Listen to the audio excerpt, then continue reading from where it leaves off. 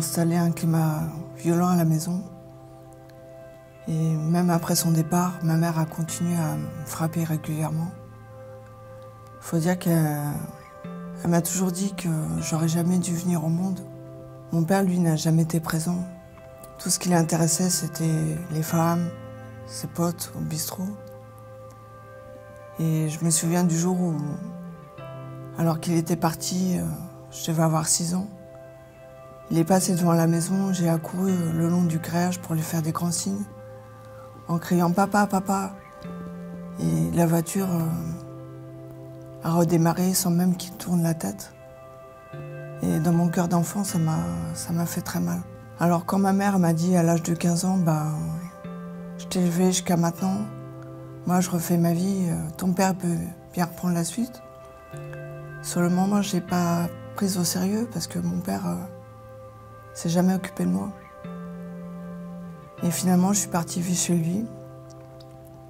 Et comme il était très violent et, même vis-à-vis de moi, il avait des gestes euh, très pervers et malsains, je me sentais vraiment très mal. C'est à cette époque-là où j'ai vraiment commencé à fumer du cannabis ne serait-ce que pour euh, calmer mes angoisses et arriver à dormir. Si bien que le jour où il a menacé de me tuer, je savais qu'il en était capable. Je me suis enfuie et quand ma mère m'avait bien fait comprendre qu'il n'y avait plus de place à la maison, je me suis retrouvée à la rue alors que j'avais 16 ans. Là, pour moi, les problèmes ont vraiment commencé. J'ai commencé à dealer pour arriver à payer de temps en temps une chambre d'hôtel.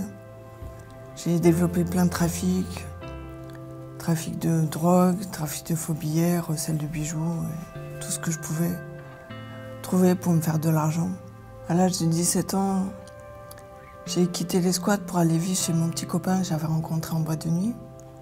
Je pensais avoir euh, retrouvé une stabilité, mais j'ai fait une erreur qui m'a coûté cher. J'ai commencé à, à prendre de l'héroïne et là, vraiment, ma vie a commencé à m'échapper. J'ai vraiment perdu le contrôle et je suis devenue accro très très rapidement. Si bien que un soir je me suis réveillée, j'étais vraiment désespérée. Je pensais que ma vie était finie et je voulais en finir. Je me suis dit, mais de toute façon, un jour on va retrouver mon cadavre dans un caniveau. Je suis partie dans la salle de bain. Je me suis injecté une grande quantité de runes que j'avais pas recoupée. Et normalement, même un cheval aurait dû mourir, mais je me suis réveillée.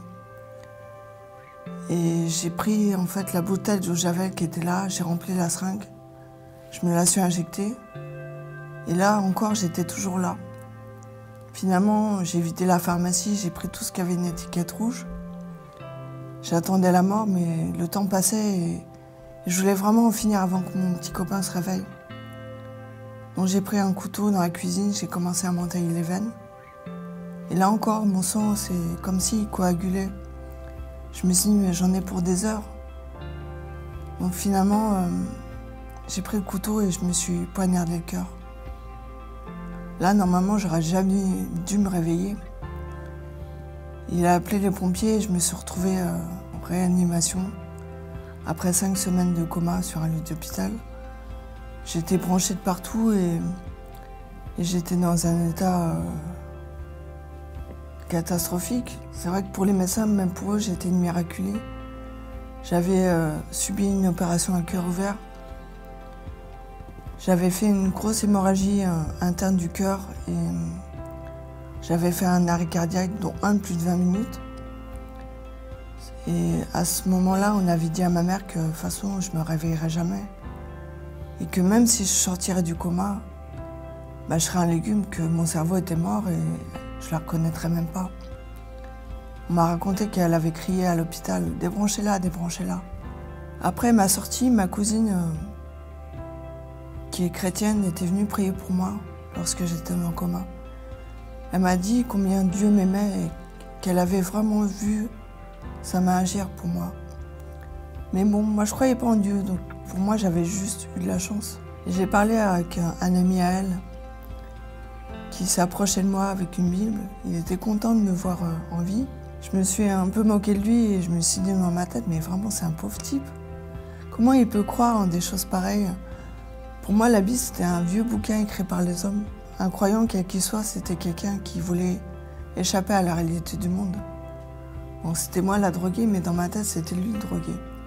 Mais en partant, il m'a dit une chose. Tu veux savoir si Dieu existe? Si ce Jésus dont je t'ai parlé, qui est mort pour, euh, tes péchés, est vivant Fais ta propre expérience et tu verras.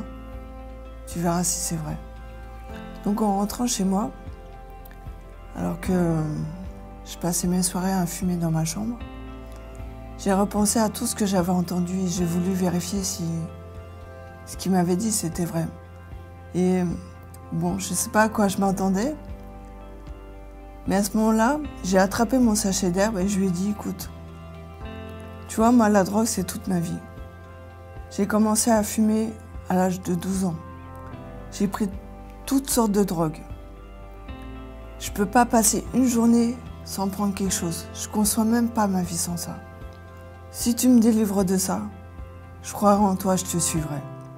Et là, j'ai à peine fini ma phrase. J'ai ressenti vraiment une présence qui m'a envahi dans tout mon corps. C'était tellement fort, c'était tellement merveilleux. Je ressentais un amour, une paix que j'avais jamais ressenti auparavant. Et j'ai réalisé que j'avais cherché à travers la drogue un bien-être qui était artificiel.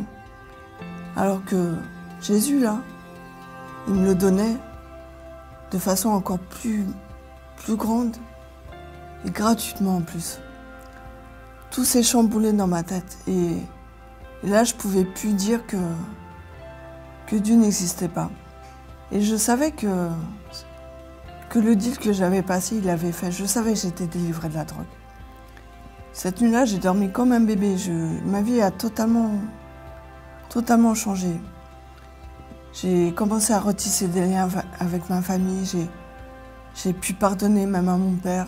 Il a vraiment permis que je puisse euh, retrouver une vie honnête. J'ai, je me suis mis à travailler. J'ai trouvé un appartement. J'ai vraiment retrouvé l'espoir que j'avais totalement perdu.